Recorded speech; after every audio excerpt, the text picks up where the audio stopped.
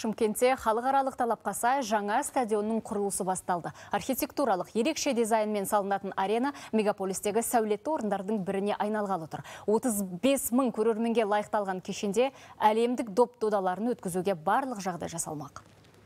жеңістеріміз бен жетістіктеріміздің символына айналатын уақыт капсуласын салып жатырмыз Стадион құрылысының капсуласын бүгін қала әкімі және ордабасы клубы бапкерлері мен ойыншылар бірге салды. Жаңа спорт кешенінің аумағы 21 гектар. Стадион жобасы FIFA және UEFA талаптарына сай әзірленуде. Трибуналар ағылшындық ареналардың үлгісіндей жасыл алаңға жақын орналасады. Табиғи көгал төселеді.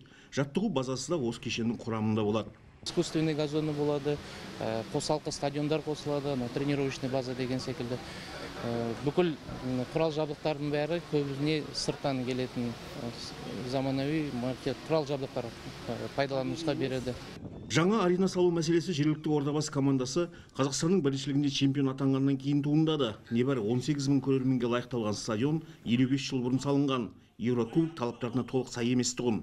Жаңа аренаның құрылысы кестеден ауытқымайтын болса, екі жылдан соң аяқталады. елу жеті жылдан бері орталық стадионға барам бір ойынын жібермеймін барлығын көремін қазіргі мынау осы уақытта мынау футбол деңгейі көтеріліп жатыр қала әкіміне мың да бір рахмет бізге осындай стадион соғып береді біз сияқты ардагерлер келіп тамашалап отыра берейік Жаңа арена салынып біткен соң Қажымхан алаңы реконструкциядан өтеді. Бұл жер Ордабасының қосалқы стадионы және жеңіл атлетикадан ұлттық команданың жаттығатын орнына айналмақ. Ғани Қалмаханов, Нұрлан Нұрбек, Қазақстан ұлттық телеарнасы, Шымкент.